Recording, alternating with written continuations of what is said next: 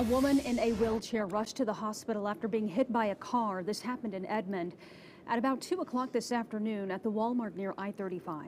Police tell us she was taken to the hospital with minor injuries. No word yet on what led up to that crash.